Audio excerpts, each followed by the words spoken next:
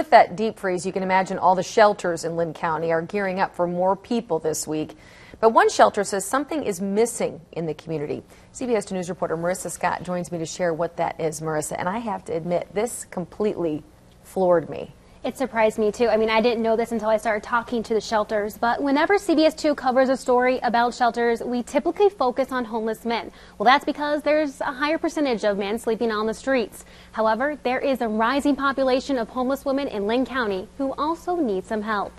Last year we served almost 260 altogether, and I know when I served six years ago it was only 90. So we are definitely serving way more women today. This two-story yellow house looks small in size, but inside it's full of love and provides a place to sleep for more than 20 women. We are an emergency shelter. It's a place where women can come to seek shelter, whether they are single, married, or have kids. They can come here if they're married, but they cannot come here as an unmarried couple. But she says there isn't an all woman emergency shelter, something she feels the community needs. We could definitely use some more space for single women or women with families. I think that with Cedar House closing too, that kind of hurt a little bit. They were able to house a few women there. However, Waypoint knows there are places for women to go. There are two shelters that serve women in the communities. To snag one of the 40 beds at the Madge Phillips Center, women have to go through an application process, which could take up to two days.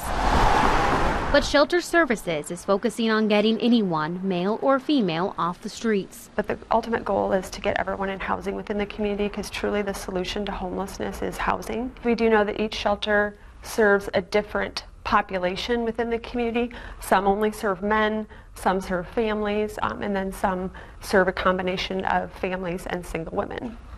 At the Catholic Worker House, single women can stay for 60 days where families are allowed to sleep there for a month. Green Square Meals is another place where both men and women can go to sleep when temps get below 15 degrees. That is so interesting. Thanks so much, Marissa.